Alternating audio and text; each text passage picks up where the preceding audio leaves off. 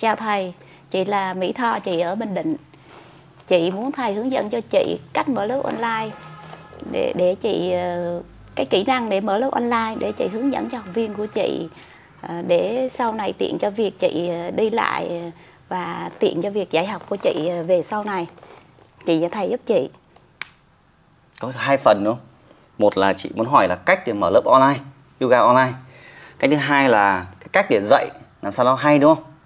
Ok. Vâng. Thì cái nội dung này chắc chắn rất nhiều bạn huấn luyện viên chúng ta cũng rất là quan tâm thì tiện sẽ ghi hình lại thì các bạn cũng ờ, nên ghi chép lại chứ đừng nghĩ là chỉ nghe không thôi nhá. Thì đây là cách mà mình đã xây dựng lên cái uh, mô hình yoga của mình. À, nó khác biệt rất là nhiều, nó tăng trưởng đến hơn 30 lần so với cách apply ngày xưa à, và chuyển đổi sang internet và cho mình một cuộc sống khá là thú vị, thoải mái hơn rất là nhiều. Vậy thì đầu tiên chúng ta sẽ phải hình dung à, lớp học online và offline nó sẽ có ưu và nhược điểm khác nhau đúng không? Xét về khía cạnh online thì thứ nhất đó là nó giúp chúng ta là tiết kiệm cái chi phí mặt bằng. Ví dụ một diện tích nhỏ xinh xinh chỉ cần 5 mét vuông hoặc là một cái góc cạnh ngôi nhà là chúng ta có thể dạy được. À, nó tiết kiệm chi phí vận hành đúng không? Đấy, chi phí thì gọi là các cái phần cứng thiết bị thôi. Đấy thì nâng cấp có thể dần dần nó không quá đắt đỏ. Thứ hai nữa là cái việc à, dạy online nó tiện ở chỗ là nó không giới hạn học viên của mình khả năng mở rộng học viên lên rất là lớn. Hồi trước thì chỉ ở xóm phố, còn bây giờ thì giống như chị là chị ở bình định, đúng không? Chị có thể đến đây, nhưng mà chị có thể ở nhà vẫn có thể học được. Vậy thì cái khả năng chăm sóc hoặc là mở rộng học viên của mình nó nó lớn hơn rất nhiều, gần như là không có giới hạn. Ở quốc gia nào cũng được nên cho mình rất nhiều cái cơ hội so với cách dạy offline. Và tiếp nữa thì cái việc dạy online nó sẽ có cái tính gọi là đều đặn hơn so với offline. Ví dụ như là ờ, cái văn hóa đất nước chúng ta có ngày tết, đúng không? Thì đến sát tết là người ta ngại đi đến phòng tập. Nhưng mà với online thì sáng người ta vẫn có thể là triển khai lớp học của mình. Vậy thì cái tính ổn định của lớp học nó sẽ tốt hơn rất là nhiều. Hay giống như chị Tho vừa nói là chị uh, ổn định cho cả học viên. Thầy chị học viên có thể đi du lịch nhưng mà sáng ra vẫn có thể tập cùng cô giáo. Đúng không? Vậy thì cái lớp học nó duy trì đều hơn so với offline. Nó không bị tắc đường nó không bị mưa bão không bị ngày lễ cả về yếu tố giáo viên và học viên. Đó. dụ chị có thể đi du lịch ra Hải Phòng tí bật điện thoại lên vẫn có thể chăm sóc được. Thì đó là yếu tố thứ ba. Đấy. nó cho chúng ta cái cái à, cái, cái gọi là cái tính đều đặn của cái lớp học. Dĩ nhiên thì nó cũng có cái nhược điểm. Cái nhược điểm của nó là uh, phần lớn mọi người sẽ có một cái rào cản là ngại về cái thiết bị internet này. Hoặc một dạng tâm lý là việc là học online nó sẽ không hiệu quả bằng offline thì do chúng ta có một cái thói quen cũ ngày xưa chúng ta quen là cái gì cũng phải tay mắt tay cầm đúng không? Nhưng mà thế giới ngày nay nó thay đổi nhiều. Hồi trước thì mình chị phải đi à, đến quần đến shop xong chị thử bộ áo. Còn bây giờ chúng ta nhìn qua là được đó. Thì uh, nó là rào cản tâm lý giữa cả giáo viên và cả học viên. Dĩ nhiên cũng sẽ có cái cách khắc phục đúng không? Thì đó là lý do thể hiện là online tăng trưởng rất là lớn. À, cái cái cái cái khó khăn tiếp theo nữa trong việc uh, online là cái kỹ năng dạy nó sẽ khác nhau. Trước là mình có thể dễ dàng mình nhấc cái chân học viên lên được bây giờ mình không nhấc được thì làm thế nào để chỉnh sửa? Vậy nó liên quan đến cái kỹ năng mềm phải thay đổi rất là nhiều cái tương tác với học viên. Đó. Và à, tiếp theo nữa là cái nhược điểm online là những cái người mà học, mà đến học trực tiếp tại lớp học ấy, thì tại sao họ phải đến trực tiếp? Tại sao họ không tự tập? À là vì họ cần có sự động lực của giáo viên. Vậy thì đến phòng tập là một cái trạng thái là thay đổi từ việc là ngồi ở nhà. Bây giờ đến phòng tập nó có không gian, nó tạo cho họ động lực lớn hơn. Vậy thì nếu mà chúng ta triển khai online thì cái cái khó khăn online ấy là đối tượng học viên phải thay đổi. Là những người mà họ phải có sự động lực mạnh hơn so với offline. Đúng không? Nghĩa là cái tính tự giác cao hơn bạn cứ hình dung đang tập online ở nhà con thì khóc hoặc là người ra người vào vậy thì cái sự tập trung nó bị bị bị ảnh hưởng. Nên là họ mới mong muốn là phải có đến phòng tập. Nên là nếu mà chúng ta mới triển khai online thì đối tượng phải thay đổi. Nghĩa là những người có cái ý chí nó cao hơn một chút. Đúng không? Thì đấy là chúng ta phân tích giữa giữa cái ưu và nhược điểm của nó. Còn cái nhược điểm uh, uh, tiếp theo nữa là một cái dạng tâm lý là học online thì nó rẻ hơn offline. Đúng không? Họ nghĩ là a à, apply thì tôi có văn phòng tập rộng thì tôi phải đóng phí. Thì cái việc phí cao hơn là chuyện bình thường. Online cô thầy cô có mất cái gì đâu nên là rẻ hơn. Nên là bản thân các giáo viên cũng nghĩ là phải thu rẻ hơn. Tuy nhiên thầy đấy cũng là một sai lầm khá là lớn. Thì nếu mà đủ thời gian thì mình sẽ chia sẻ về điều đấy. Thì đấy là cái góc nhìn. Vậy thì bây giờ trước khi triển khai online thì câu số 1 đấy đó là chị phải thay đổi học viên. Trước ấy, khi mà em có lớp học trước dịch hoặc là trước cái thời kỳ chuyển sang online thì học viên đã quen với môi trường đến phòng tập rồi nhưng khi bây giờ mà khi mình chuyển sang online, thì những người mà đã quen cách cũ mà để thay đổi một cách mới, nó rất là khó, đúng không? Đúng như tôi đã quen ăn một món ăn rồi bây giờ bắt ăn món mới, là cũng sẽ phải cần thời gian luyện tập rất là lớn. Hoặc giống như chị chẳng hạn ấy, tầm tuổi này bây giờ vẫn đi học thì cũng là một cái sự mạnh mẽ rất là lớn. Chứ đầy người bây giờ bảo tầm này còn học hành cái gì nữa, đúng không? Nghĩa là, đấy, thì nghĩa là họ đã quen việc apply rồi, thì khi chuyển sang online sẽ là rào cản rất là lớn. Nên là khi mà mình chuyển sang online, gần như toàn bộ học viên apply là rất ít tham dự và đến sau khoảng 3 năm rồi thì bây giờ các học viên à, uh, offline ngày xưa mới bắt đầu làm quen và họ bắt đầu inbox trở lại là cho tôi học online. Nên là cái việc mà nhiều người từ chối chị ấy là chuyện hoàn toàn bình thường. Đúng không? Vậy thì tìm học viên lớp online làm sao để thành công thì phải tìm những người như thế này. Những người đấy ấy, họ sẽ tính được cái chi phí cho việc đến học offline nó đắt đỏ như thế nào. Ví dụ nếu mà việc đến phòng tập gửi cái xe lách ca lách cách thời gian nó quá tốn kém với họ thì những người đấy là những người mà có thời gian hạn hẹp, đúng không? Họ rất là hạn hẹp, nên việc mà đến phòng tập nó cảm thấy rất là ngại. Nhưng mà cái ngại đến phòng tập nó lớn hơn cả cái tự tập tại nhà, cái động lực tự tập. Bình tĩnh nhá, chúng ta phân tích bài toán về tâm lý học đấy các bạn ạ. Muốn làm huấn viên về tâm lý học. Những người kia thoải mái về thời gian nên họ phải đến phòng tập. Gần nhà đến phòng tập rất là thoải mái. Còn có một cái nhóm người nữa là rất là bận rộn đó họ chỉ tranh thủ một vài tiếng thôi, đến phòng tập là không được vậy thì cái ngại trong việc đến phòng tập nó quá lớn. So với việc là thôi uh, tự tập online cũng được. Họ chấp nhận cái việc là tập online nó thiếu động lực cũng được còn hơn là mất quá nhiều thời gian chi phí đi lại. Đắt đỏ quá. Nên là thành ra cái việc tập online nó trở nên dễ dàng hơn. Và tiếp theo nữa là cái những người này đa phần là những người mới. Mới mới như là chưa tập yoga bao giờ ấy, thì tập online lại dễ hơn. Tại sao? Tại vì nếu họ đã nhỡ chạm vào offline rồi thì họ quen rồi. Đúng không? Nên là việc chuyển sang online lại thành ngại giống như chưa biết ấy thì cái gì cũng mới. Còn biết rồi thì chúng ta mới so sánh. Nhưng mà các bạn hình dung là Việt Nam chúng ta 100 triệu dân đầy người đã tập yoga bao giờ đâu. Đúng không? Có phải ai đến phòng tập đâu? Nhìn họ hàng nhà mình mình là huấn luyện viên thu là huấn luyện viên đúng không nhưng mà bố mẹ mình đã tập đâu? Đầy người. Thì những người đấy chưa tập một là một này và chưa nhìn những cái lớp học online bao giờ. Yeah. thì họ cứ nhìn hình ảnh online thì họ dễ dàng hơn. Thì dung chị thu à chị chị chị chị thom đó vậy thì quá trình để mà có lớp học online thì các chị phải xây dựng thương hiệu cá nhân của mình trên internet. Trên internet nhé tại vì họ muốn hút học viên online thì mình phải lên online, đúng không? Mình có thể phát tờ rơi thông báo tôi có lớp học online được. Phát tờ rơi phát họ biết ngay cạnh nhà mình rồi thì họ đến nhà mình tập chứ đến online làm gì.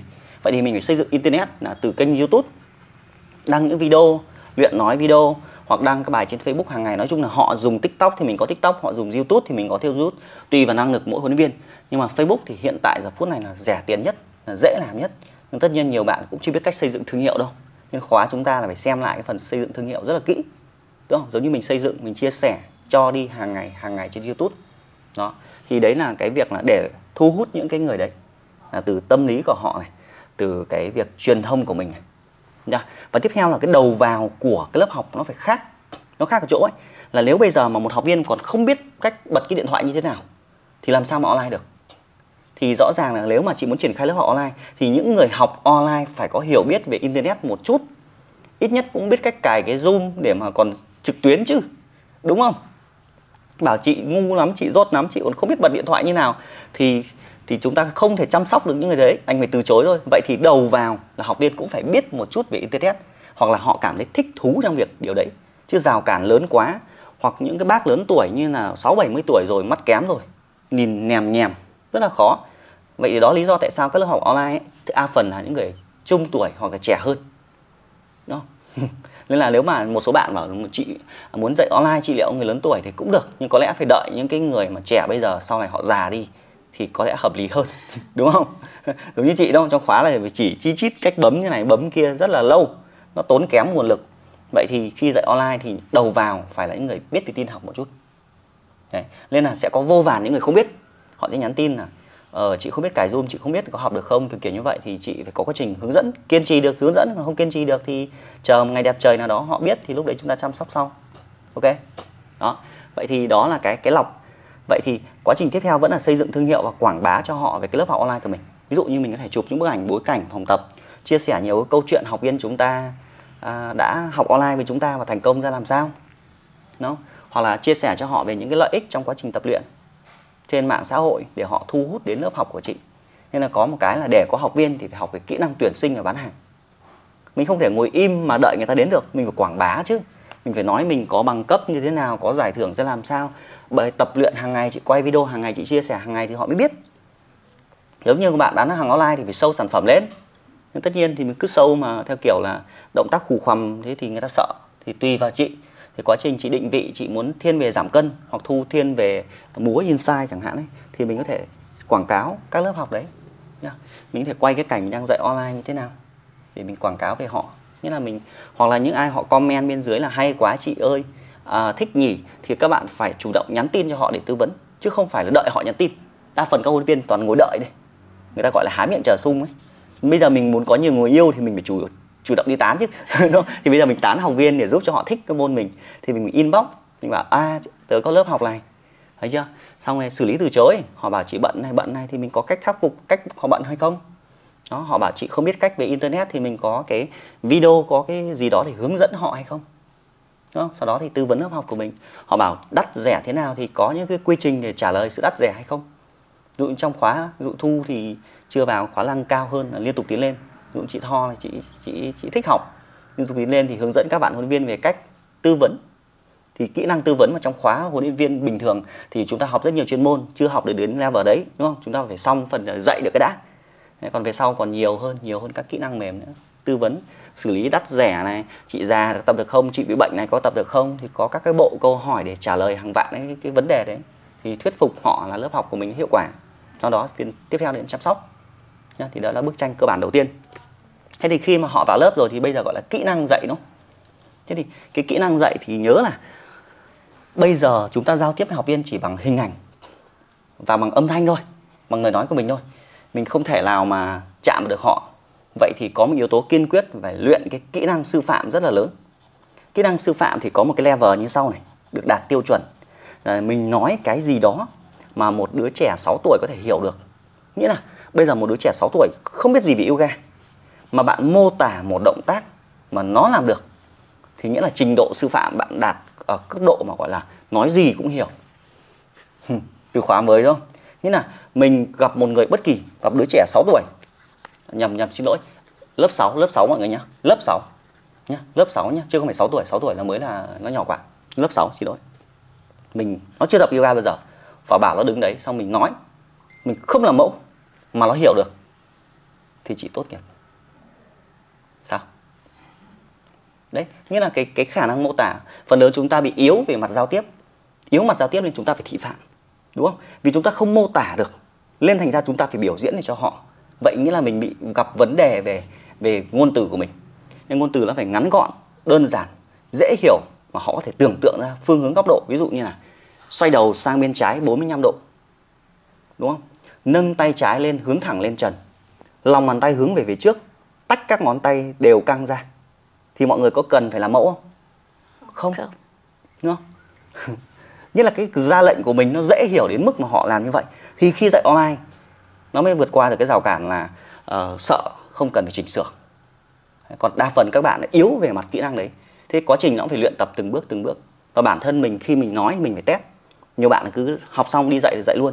Nhưng mình phải test ở và test nghĩa là kiểm tra mình thử nghe lại cái video mà mình dạy ví dụ như mình nói xong mình có thể ghi hình lại xong rồi chính bản thân mình tập cái video đấy xem mình có dễ hiểu hay mình cảm thấy đau đầu? Đấy. và tiếp theo là cái ngôn từ của mình nữa cái giọng mình nó phải rõ ràng. Thế nhiều người ví dụ như sẽ gặp các cái vấn đề về vùng miền đúng không? À, chị Tho Bình Định này à, Thu ở, ở Hải Phòng đấy. Thế thì mình cũng phải luyện cái giọng của mình để làm sao tất cả vùng miền họ phải nghe được rõ họ giọng của mình. Thế thì cũng gặp một số bài toán của anh chị ở khu vực miền à, miền Trung hoặc là Nghệ An, Hà Tĩnh chẳng hạn cái giọng họ địa phương. Nhưng mà nếu bạn muốn phổ thông bạn muốn dạy online cho toàn quốc thì giọng bạn phải luyện. Giống như việc bây giờ mình nói giọng này thì mọi người đâu có nghĩ là giọng Hải Phòng đâu. Giống Hà Nội hơn đúng không? Thì quá trình vẫn phải luyện tập hàng ngày luyện giọng nhé. cho nó ấm hơn cho nó tròn vành hơn rõ nghĩa hơn. Đấy cái giọng nói của mình. Thế thì khi mình dạy online nó có yếu tố nữa là về cái tốc độ đường truyền. Vậy thì mình có phải luyện khả năng quan sát là khi mình nói phải đợi họ thực hành xong đã thế vì mình phải cảm nhận được cái tốc độ cảm nhận học viên. Mình nói họ là nâng tay trái lên, hướng thẳng lên trần. Thì phải đợi cho họ làm xong đã. Thế nhiều bạn là kiểu hào hứng quá, nói nhanh quá, người ta bị đau đầu.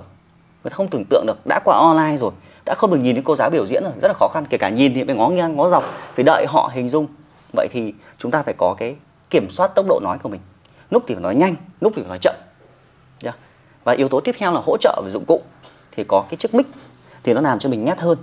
Ví dụ các bạn nghe thì cái giọng mic này rất là ok, đúng không? Tất nhiên không nhất thiết phải đắt đỏ như vậy. Có nhiều phương pháp là cái mic có thể 300 nghìn, có mic 400 nghìn, hoặc là đơn giản cái tai phone bluetooth này, để mình có thể nói. Thì học viên hoặc là âm thanh, không gian nó rõ nét để cho học viên cảm thấy nó rõ nghĩa của mình. Thì về cách sư phạm là như vậy. Mô tả, nhắm mắt. Có những bài kiểm tra là mình phải thử thách bản thân mình là làm sao mình dạy online ấy mình không làm mẫu từ đầu đến cuối không cần cho học viên nhìn hình của mình. Bảo ngày hôm nay chúng ta thử chinh phục là kỹ năng gọi là không nhìn. Thì ngày xưa khi mà mình phát hiện điều đấy là tình cờ mấy lần là mình dậy buổi tối buổi sáng sớm mất điện. Và cả buổi đấy học viên không nhìn thấy mình luôn. Ngồi góc lớp xít buồn ngủ mùa đông nữa. Bước chân trái lên thì còn giật mình. Đấy, nghĩa là mình ngồi góc mình không làm mẫu nhưng mình tưởng tượng ra toàn bộ cái cảnh học viên đang tập. Và mình không cần tập cùng. Nhá, nhiều bạn phải tập cùng để bắt nhìn đúng không? Thì về sau leo vào cao chúng ta là chúng ta không cần tập cùng. Mình ngồi im và tưởng tượng ra thậm chí mình không nhìn học viên nữa và mình nói. Không nhìn cái đứa trẻ 6 tuổi lớp 6 nữa và mình nhắm mắt này hoặc mình quay video lại xong mình nói bước chân trái lên mình cảm nhận tốc độ của họ. Đó sao? Ờ à, nó phải là cao dần lên chứ. Cũng là trình độ dạy sau này ví dụ như kể cả bạn dạy lớp cho 10 người 20 người hay một nghìn người dụ giống như mình điều hành một cái lớp học ở Quảng Ninh 3.000 học viên 3.000 học viên học ở đủ các loại yoga khác nhau. Và ngày hôm đấy làm thế nào để dạy cho một chưa bao giờ làm mẫu cho họ?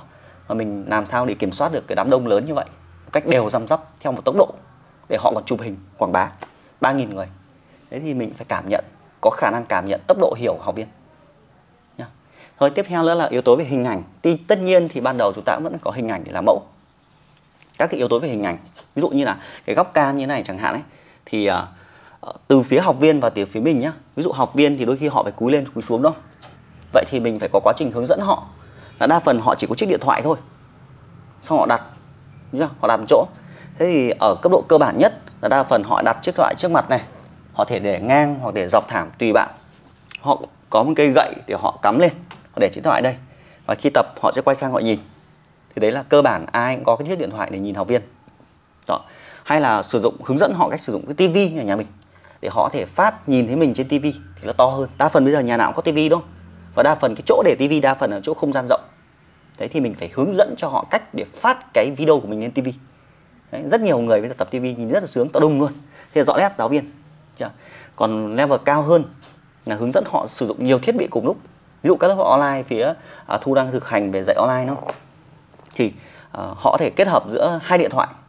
Một cái điện thoại để đây một cái điện thoại để đầu này được chưa? Thì khi họ quay sang đây thì họ nhìn thấy mình đang làm mẫu. Mà quay sang đây cũng thấy có một màn hình nhá xịn sò hơn ba cái.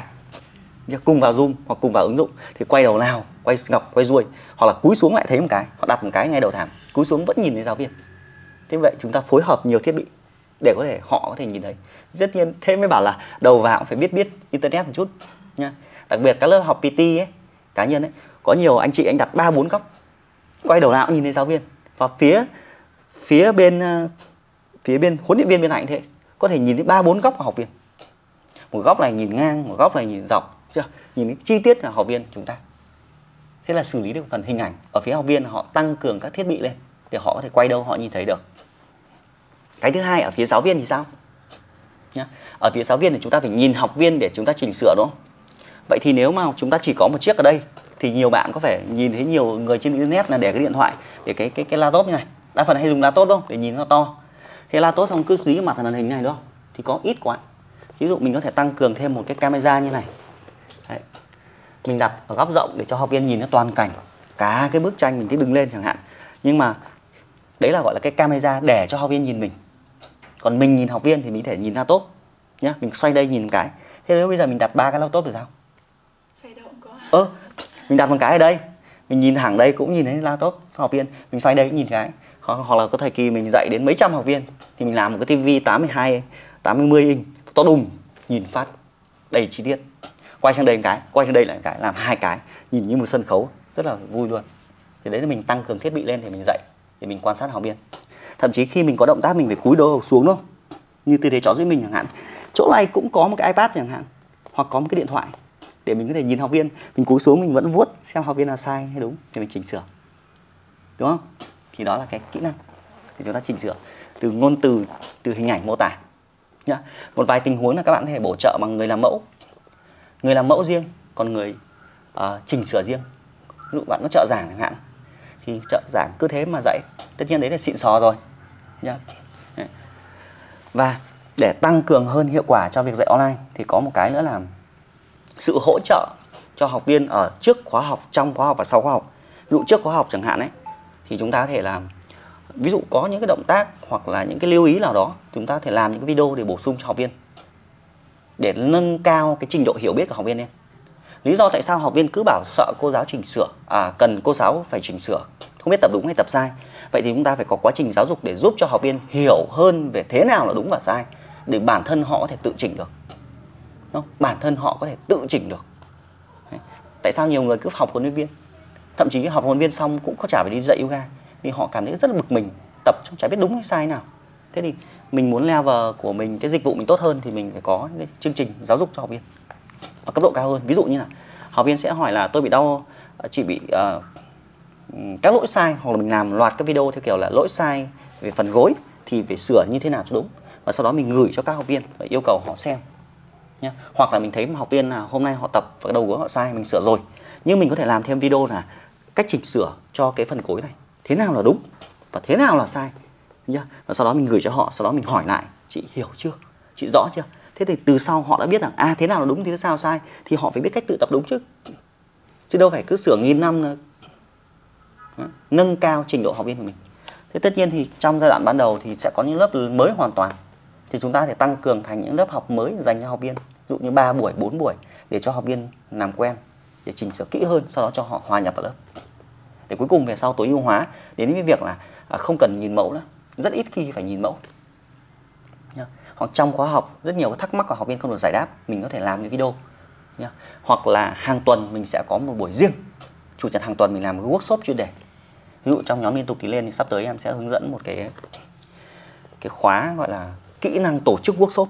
Nhiều bạn cứ nghĩ là mình phải master, mình phải nhiều năm kinh nghiệm mới làm được chuyên đề. Nhưng thực ra là phải học cách tạo chuyên đề chứ không phải là bạn dạy 10 năm mà không biết quy trình, nhá. Từ việc đặt tên như nào chẳng hạn. Ví dụ như là cuối tuần bạn làm một cái workshop về kỹ năng chỉnh sửa. Hay bạn giải đáp tất cả các câu hỏi lỗi sai. 33 lỗi sai 40 lỗi sai, cơ bản nhất khi tập luyện yoga. Sau đó mình sửa một loạt hàng tuần thì nó vừa tạo sự chăm sóc cho học viên, nhá. Và học viên hiểu hơn. Rồi, quá trình tập họ sẽ đúng hơn. Nâng cao sự hiểu biết họ lên nhiều hơn. Hoặc tuần này là chuyên về thoái hóa cổ tất cả các việc là tập, động tác nào là tốt, tập như thế nào để hỗ trợ cổ và tránh như thế nào thì học viên thế là xong. Cứ một tuần mình có xoay vòng thì chất lượng nó tốt hơn không? Đó làm buổi riêng 2 tiếng vào buổi sáng, chủ nhật hoặc tối, tùy bạn dạy online nó giống nhau hết mà. Mình thông báo học viên thì cái quá trình các lớp học cơ bản nó sẽ tối ưu hơn, nó chất lượng hơn rất là nhiều. Hoặc bản thân mình tăng cường các video. Ừ. Một kỹ năng nữa là khi dạy online, đó là tất nhiên học viên luôn luôn cảm thấy là không biết có đúng hay sai thì uh, ví dụ như là thu chuẩn bị dạy lớp online ấy, thì sẽ có một bạn bạn chụp. Chụp như là bạn để hai cái màn hình. Hiển thị uh, spotlight ấy, chế độ zoom ấy là một bên là học viên đang tập tư thế chiến binh và bên này mình đang là giáo viên mình làm mẫu. Sau đó chụp bức ảnh ấy gửi cho học viên thì họ thấy rằng à so sánh động tác của họ với giáo viên họ tự nhận ra điểm đúng và điểm sai nhá gửi cho họ. Ví dụ họ à, buổi sau buổi dạy mình có thể ghi hình màn hình sau mình để đấy. Sau đó mình tự chụp sau đó mình gửi cho học viên thì mình ghép lại bước xong gửi cho họ. Thế họ bảo à hôm nay chị tập thì chiến binh này chị bị gù lưng chị chưa? Em thẳng lưng chị gù lưng. Thế họ biết à bản bản xịn và bản fake như thế nào đúng không? Họ có sự so sánh không? Trước và sau. Đấy. Sau đó thì mình có thể gửi cho họ thêm cái video về sửa nữa. Thế chị hình dung là chất lượng học viên họ rất là thích không thì quá trình học của mình họ họ được hiểu biết nhiều hơn. À, và một cái phần cuối là khi chúng ta dạy online thì quan trọng nhất thì mọi người sẽ nghĩ rằng là à cái bài dạy cái giáo án tuy nhiên thì cái việc dạy online thì tối ưu giáo án. Tối ưu giáo án nghĩa là chúng ta phải có kế hoạch giáo án kịch bản giáo án để học viên có thể dễ hiểu. Thì có một cái sai lầm phổ biến khi chúng ta sắp xếp giáo án ấy là mọi người cố gắng sáng tạo thật nhiều giáo án mới để nghĩ rằng việc đấy sẽ giúp cho học viên cảm thấy sự hào hứng ở lớp học. Tuy nhiên khi mà phân tích kỹ thì cái hào hứng nó không thể đến từ cái việc là nội dung giáo án nó còn đến từ âm giọng của bạn nó từ, từ thân thể của bạn từ cái việc là camera bạn sắc nét hơn nhiều yếu tố khác nó cộng hưởng lại.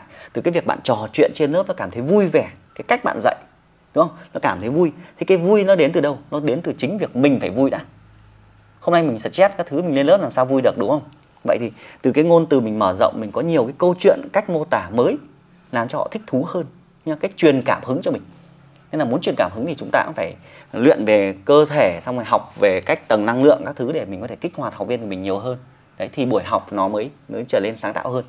Vậy thì để dạy online một cách hiệu quả hơn thì lời khuyên ấy là cái giáo án ngày hôm nay với ngày mai ấy, nó chỉ chênh nhau khoảng tầm 10% thôi. Nó chỉ khác nhau tầm 10% thôi. Nên học viên sẽ luôn cảm thấy rất là giống giống nhưng nó lại khác đi một tí. Nó giống giống nhưng khác đi. Vậy thì quá trình giống giống xong rồi khác đi làm cho việc học viên dễ nó họ không phải đau đầu về việc là làm thêm kiến thức mới và cái bài tập họ sẽ dễ dàng thân thuộc hơn.